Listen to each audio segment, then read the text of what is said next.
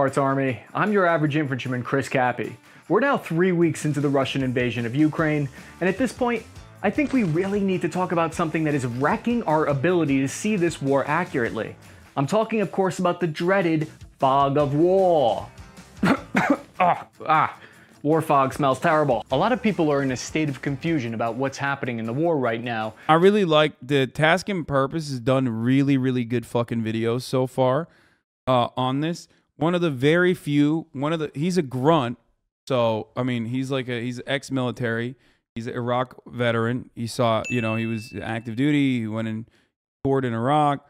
Um, and originally I thought he was like, you know, I thought he was a boot, but he's actually he's actually one of the few like Western Western focused or Western centrist, uh, Western centric uh, content creators on the internet that has actually said, let's pump the brakes here. I think everyone is uh, currently celebrating Ukraine's military victories, but the situation seems a little bit more uh, confusing than uh, than than you would suspect. It's it's Thanks way to more echo nuanced. chambers created by our social media platforms and propaganda clearly coming from all of this. In the US, where I am, it's very difficult to factor in reports of Russian victories into my analysis.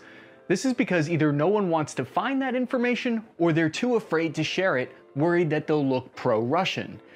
I want to warn you, if you want some cheerleading video about how great the Russian army is, or how great the Ukrainian army is, then this video is not for you. This is for people who want to cut through the Yeah, okay, buddy. You talked about how the Russian convoy will reach Kiev last week. How did that go? Did he say that?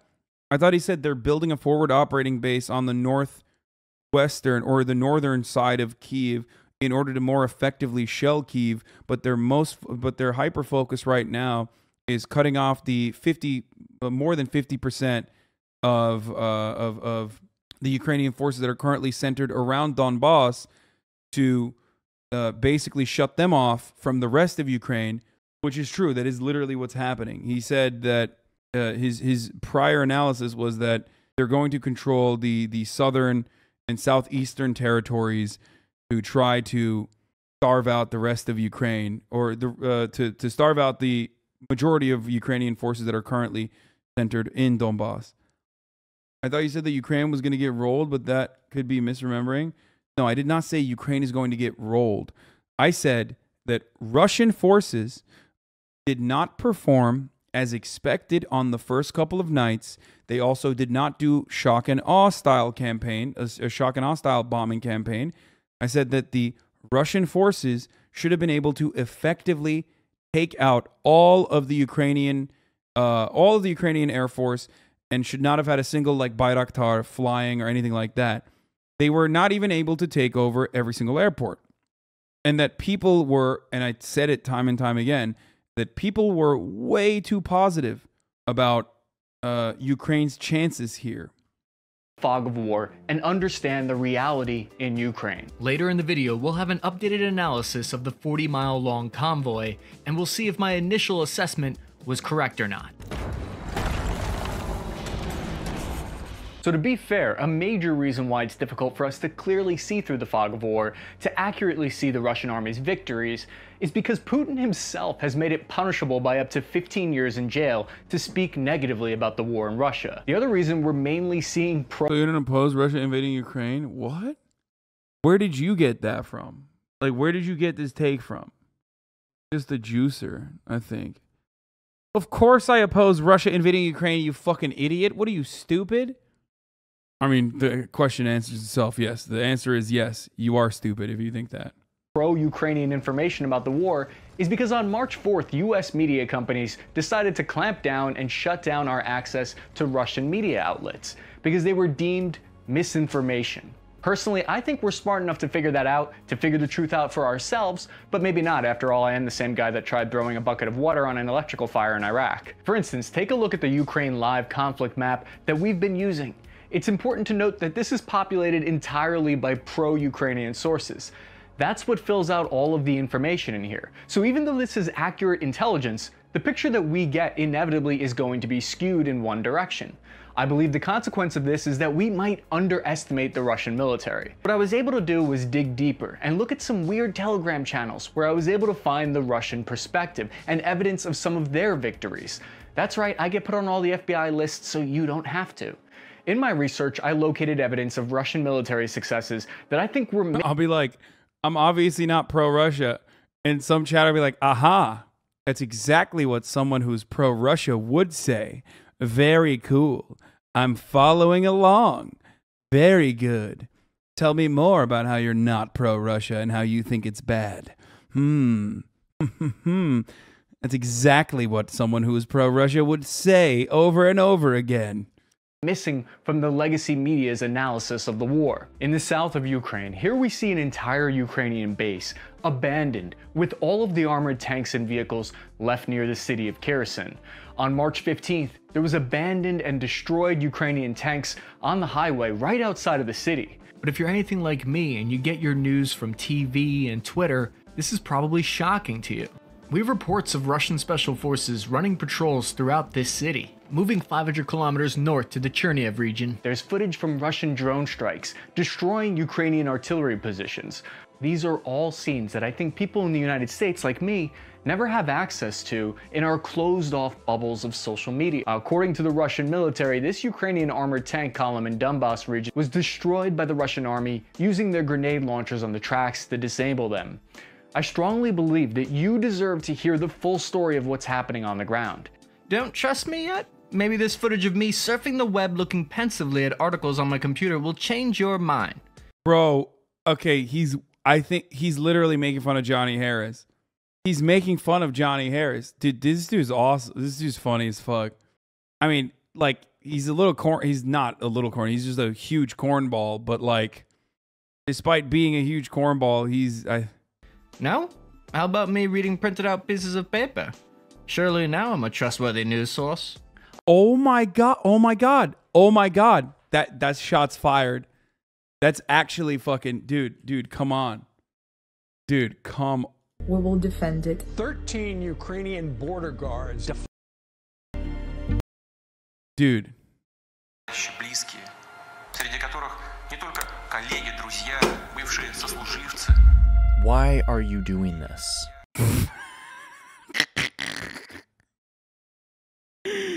Yo, look at that. Most of those troops crossed the border last week and are now inside the country.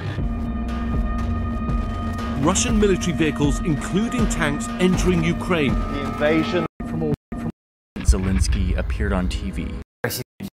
Anyway, you get the picture. That's interesting. Okay. On March 4th, a civilian news broadcast from the airport near Hostomel shows that the Russian army has secured the airfield about 40 kilometers from the center of the city. Now, if we move 500 kilometers down to the south of the country, here we see how in the Donbass region the Russians are handing over captured Ukrainian vehicles to pro-Russian forces to use. Look at all the Soviet flags flying on these vehicles. Can we stop pretending at this point that Putin isn't trying to put the old Soviet Union back together? Can we stop pretending that NATO? Okay, well, there you go. He, he, he's still got some fucking Ameroid tendencies. Expansion is bad? What if we didn't let Poland join NATO? Is it more likely that Russia would behave, or would they have just been looking to snatch that sweet, sweet land up? This morning, Russian sources released video footage of their artillery shelling operations near the capital. They also released a detailed map that they captured showing all of the Ukrainian army's defense locations surrounding the city, but I've chosen not to disclose that information. The point is the Russians have it. You take a quick look at the map from last week compared to this week, the Russian forces have made progress along every axis of advance, they haven't been pushed back or repelled really anywhere yet. To me, these advances are more compelling intelligence than someone telling me on TV that the Russians have low morale in their units. Of course there's low morale in the Russian units. Have you ever heard a soldier talk before? All we do is complain. I think it's too hot. You know what? It's too cold. When are we going home? Where are we sleeping? Sleeping in the back of the vehicle sucks. If you're in the military and your morale isn't terrible, then you're either not in the infantry or you're not deployed. Believe me, they had to keep us from attacking each other in Iraq, let alone the enemy. On Thursday, March 10th, cloud cover over Ukraine broke, and it gave the Maxar satellite images another look at the 40 mile long Russian army convoy just north of Kiev. Everyone was fixated on the fact that these vehicles had redeployed and moved under tree cover, and they completely missed the really valuable information here. Sometimes we can get more information by analyzing what we don't see. So these new images do not show us burning Russian vehicles. We do not see smoking, smoldering, destroyed Russian convoy. It's instead moved off the road into defensive positions under trees and into nearby towns. This tells us that the Ukrainian military either chose not to attack it or they were unable to attack this big fat sitting duck. The media is already starting to admit that this isn't a stalled convoy. Just look here at where the blue line ends, that's where the convoy ends. You can clearly see that this supply convoy can't go any further without advancing past where the combat divisions are. US intelligence officials from the Pentagon and the Department of Defense say that this convoy is largely made up of non combat supply trucks. They're carrying fuel, food, and ammo. Is it just me or is John Kirby over at the Pentagon one handsome devil? Some people see this 40 mile long convoy as a massive Ew. military blunder, Ew, and dude. in many ways, they're not wrong. With the fog of war, the situation is constantly changing, and tomorrow, the whole convoy could get destroyed for all we know. The Russian army, in their attempt to quickly take Kiev, has failed to successfully secure large regions in their rear. This means it could be difficult for this convoy to advance to the divisions that are battling into Kiev safely. If the convoy went further south, they would be at risk of being attacked by the Ukrainian special forces in that area. We know the most elite Ukrainian units are operating just north of Kiev and have been working to attack supply lines, which has helped to slow down the Russian advance. The Ukrainian General of Staff, whose reports have been largely accurate so far, if only a little bit biased, he had something to say about why the Russian convoy was pausing and taking defensive positions. He says the Russian engineer units are working to create a network of field pipelines in the territory that they currently occupy. The Russian military's plan, it appears to be that they want to connect these pipes to a central oil pipeline in Belarus, where they can pump fuel to any of their tank divisions near Kiev. In the meantime, Ukrainian farmers now find themselves on the front lines of this battle. Military intelligence reported on March 14th that Russian forces are seizing farming machinery for these engineering projects so that they could help with this pipeline and help construct fortifications. In response, Ukraine farmers seem to be striking back by using their own tractor trailers to capture and tow Russian tanks away from them. This has now become a thing where Ukrainian tractors are pulling away tanks. There's dozens of these videos. I feel like there's a really great country music song opportunity here. In Ukraine, I've got two things that I love my dear tractor trailer and my captured Russian T 72 main battle tank. It's got a V12 diesel powered engine. My girl, well, she ain't too sweet on my Russian armored vehicles sitting on the farm. well, shucks. I tell her Vladimir Putin can Bro, come he is so corny. Oh my god. get her himself. No, I'm not giving away my Russian tank. It's got a souped up 780 horsepower engine. Yeehaw! Can I get a hooah? During the third week of the invasion, the Russian forces have taken an operational pause, which was something that the US military had to do in their invasion of Iraq. If we look at the east of Kiev, a Russian armored column last week made a push towards Brovary, which would put them in striking distance of the capital. If they can capture that How, yo, is this a city slicker or what, dude? He can't even do a fucking reasonable uh, country accent. What the fuck is that? Actually surprising, dude. What the fuck? That town, they'll be one step closer to encircling the capital. They sent them to Iraq to fucking fight uh, with nuclear cornball energy, dude. They were he was the real weapons of mass destruction. The Ukrainian military likely had this road zoned in as a kill zone weeks ahead of time, and I'll tell you why I think that in a second. So they'd set up a complex ambush waiting for the Russian army just to roll right in. We see the Ukrainians attack with artillery and possibly drone fire from the sky, maybe even tanks out of frame. The way this column reacts to contact is really terrible because they bunch up close to each other, blocking one another, making it very difficult to retreat. So we can see this column was attacked once they had pushed into the town, out of all the farmland in the background there. This town then acts as a natural physical block, preventing the tanks from escaping the kill zone off to the side of the road.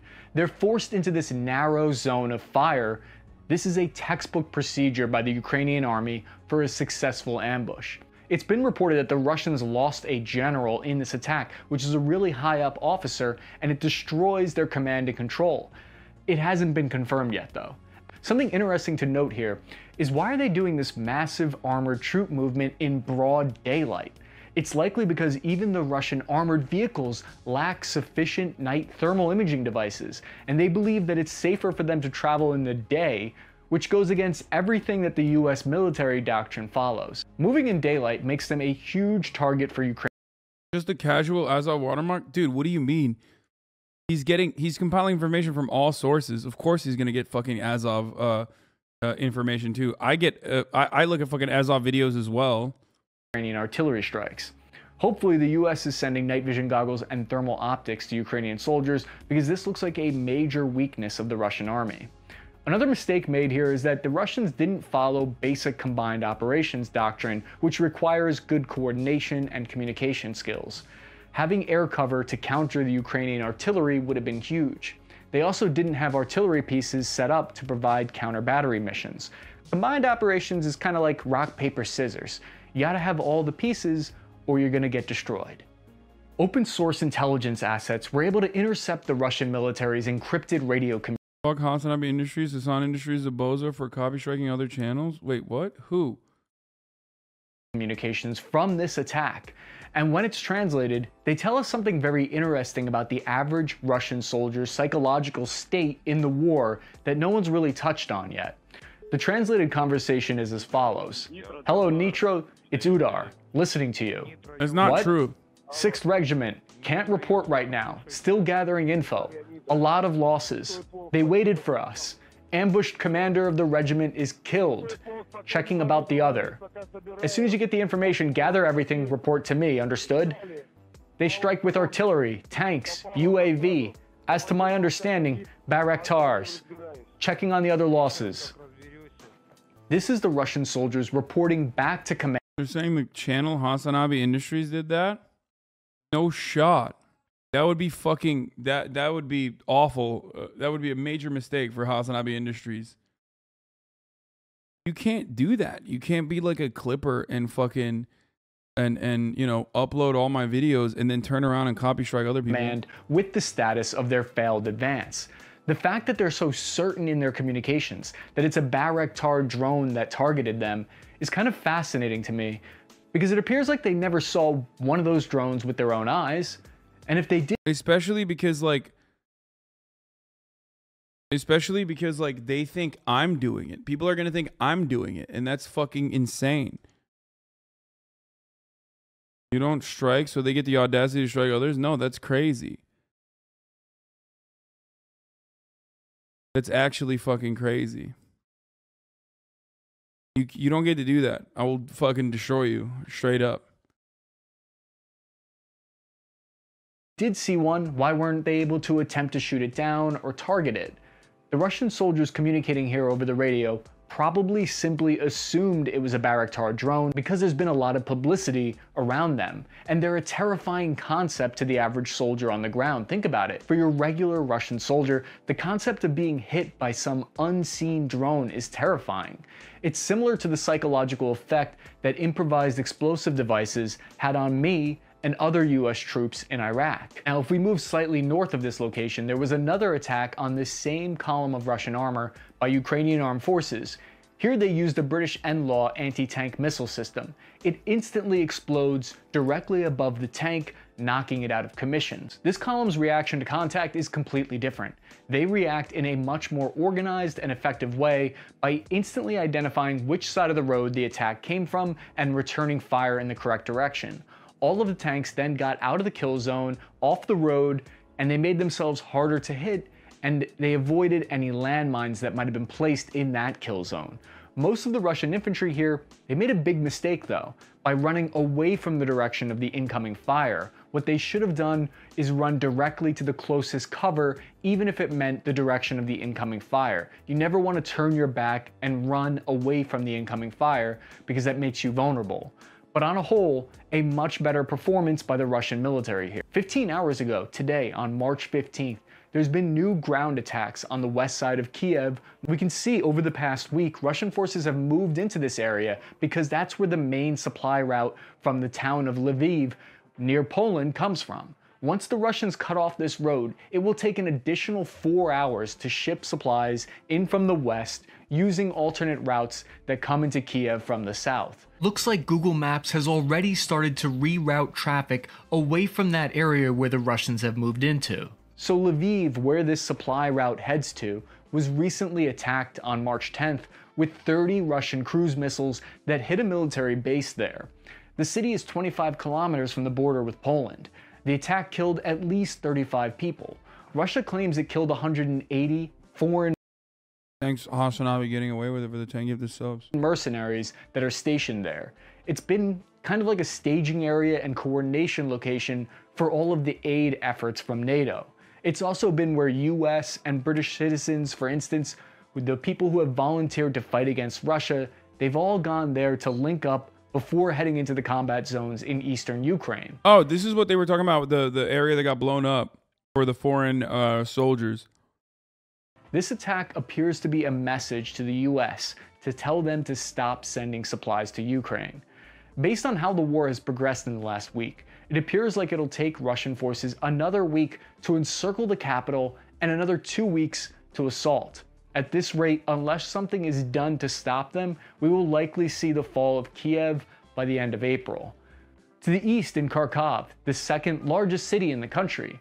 Over the past few episodes, I've shown a lot of the Ukrainian armed forces perspective of what's happening there. According to the Russians, they've captured a portion of the Territorial Defense Unit and the 81st Air Mobile Brigade of the Armed Forces of Ukraine, which have withdrawn from the city at this point, according to them. Kharkiv is important because if it's captured, it'll open up the possibility for the Russian military to encircle all of the Ukrainian forces in the Donbass region. Another important development coming out of Kharkiv is that the Russian military has provided video evidence that they've set up successful refueling operations in the area. On March 10th, the Russian government officials admitted something that confirmed an early suspicion of mine. They are using untrained young conscripts in the war who likely do not want to be there and were forced against their will to fight in Ukraine. There are a few theories surrounding the use of conscripts. Some claim that they're purposely sent in first as cannon fodder. Even one Ukrainian who was interviewed Said, quote, at first they seemed to be sending in people they weren't afraid of losing, but then There wasn't anything there. I just wanted to still, you know, just be safe. And I was hiding in a basement. The Russians who found us were serious, well equipped with torches and full communication, basically special forces. So it could be the case that the professionals wanted the conscripts to go in like guinea pigs to test the level of Ukrainian resistance. Another theory there is that they were accidentally sent in due to a miscommunication because there would be no real military advantage to sending in less trained troops first. Can you comment on, or do you have any insights on the recent developments regarding Russia's use of conscripted troops? Can you confirm? I can't tell if this was propaganda or not, but didn't Vladimir Putin say he was going to jail uh, one of the generals or something for sending in conscripts uh, against his wishes or something? Am I crazy? No, not the fucking FSB people for uh, quote unquote uh, working with um, uh, working with the Ukrainians or whatever. that they've recalled some of these forces and that their deployment to the front lines was seemingly the result of some kind of mistake? Well, I mean, we certainly have seen that um, that some of the initial uh, uh, battalion tactical groups that were sent into Ukraine in the early days uh, had conscripts in the force. Can John Kirby get an unironic hooah from us? Sir, if you're watching this, I, I'm not even kidding. I, I love the way you answer questions. On March 9th, we got more evidence that contradicts Putin's claims that the invasion That's some straight fucking. Yeah, that that's oh Jesus. Th- Okay, well you can't. Once a vet, hard to shake that, I guess. is going according to plan. This new evidence suggests that he's had a major initial miscalculation with the invasion and he expected a swift victory in a few days because he reportedly placed the leader of the SFB, their own head of intelligence, under house arrest for giving him false information about the situation in Ukraine, which led to an initial stumble by the Russian army there. Analysts believe Putin has surrounded himself with bureaucrats who told him what he wanted to hear and not what he needed to hear.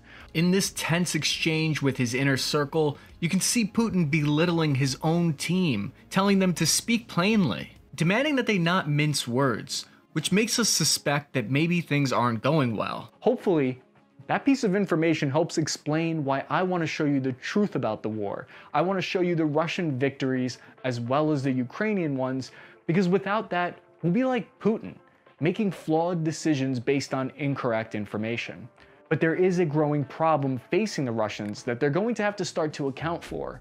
They've flattened these cities and killed much of the population that they're going to have to actually start to feed and give water to these people and help these people who are still left alive. The Russian Ministry of Defense has released footage of these soldiers handing out supplies to local populations Footage like this is, it's kind of difficult for me to process because it reminds me of missions that I went on in Iraq where I would hand out food and water to the local population in towns that had been destroyed from years of war.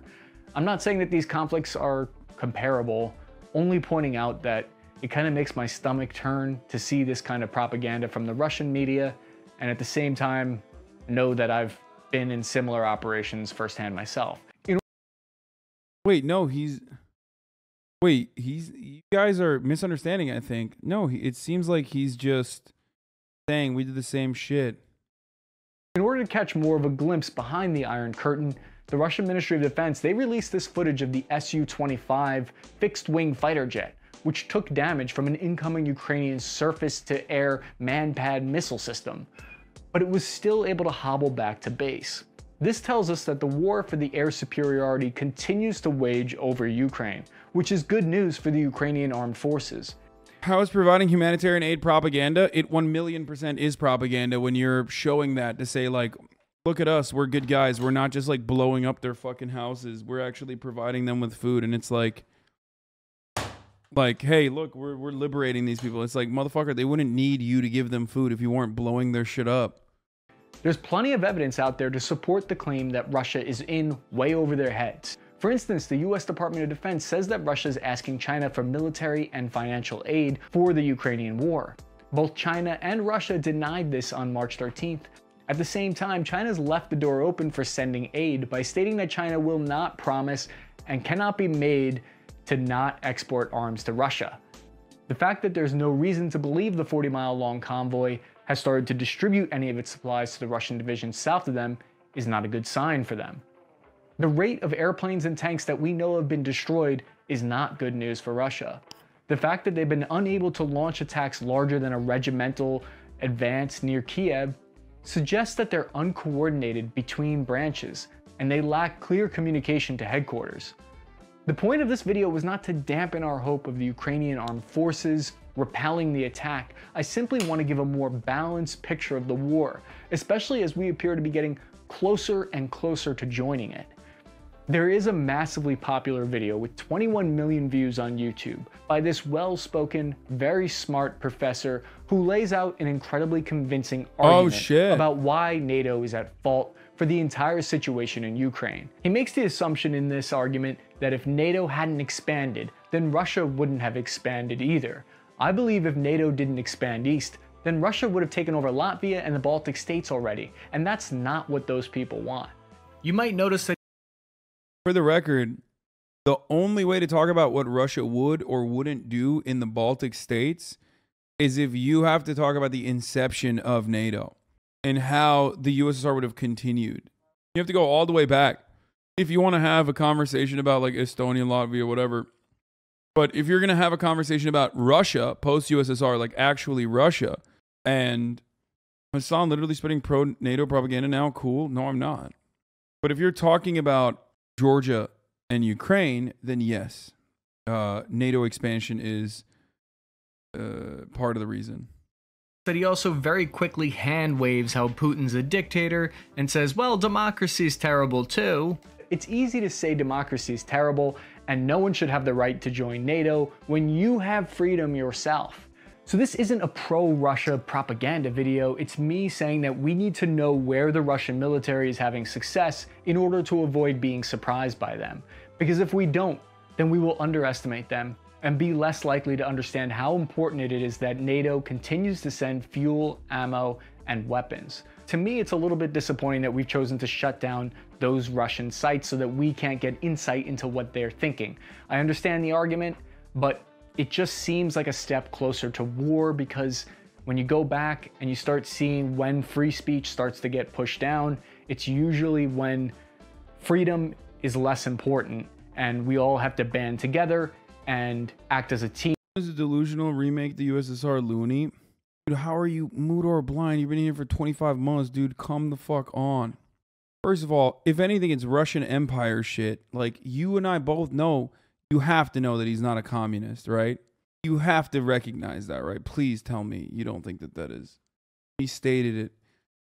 So what? His sentiment about the USSR or Ukraine and Russia being a one nation together is has nothing to do with his actual desires or his military capabilities. That is for the birds at home. That is to justify his actions to the people at home. America said they're going into Iraq to, to, to do Operation Iraqi Freedom. Does that mean that they actually were interested in doing that? Or do you personally comprehend that it's like beyond, uh, beyond that? And that that was how uh, they were selling that idea to you, an American.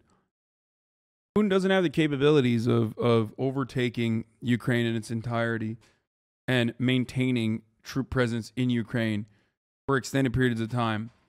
It's just like you're literally breeding uh, uh, terrorism in your own borders, then that you've expanded into. You've now become, once again, uh, bordered alongside NATO nations, and you've quite literally now, while you're simultaneously bordered with NATO nations, you have quite literally created a fucking hostile 44 million uh, nation that is going to constantly fucking blow your shit up. It is like the absolute fucking most idiotic fuck uh, thing that he could do. What's his goal then? Keeping occupied territories? I mean, don't get me wrong. I think Putin would have an easier time taking over like the other Baltic states. Straight up. You know what I mean? Like, yeah. So those guys being terrified is is a little bit more understandable. All jokes aside, nothing can bring down Moldova. I think he's planning for World War III and Ukraine will be his front. What? Team to fight a common enemy. That's when freedoms get sacrificed. So that scares me that maybe are we already at a point where we need to sacrifice our freedom of speech in order to band together to defeat a common enemy. What? The fuck is this? Same hair type. We just can't pull that season four. What? I have your same hair type, and we just can't pull that season four Eren Yeager shit, man. I wish we could. Fuck do you mean? I think my hair is perfectly fine. But yeah, no, this was Ukraine fog of war. What's really happening by task and purpose? He just wants a pro-Russian government like U.S. did in 2014, replacing pro uh, Yanukovych with pro-American Poroshenko. Yes, he wants a pro-Russian government. That's what he wants. He wants Ukraine to turn into Belarus.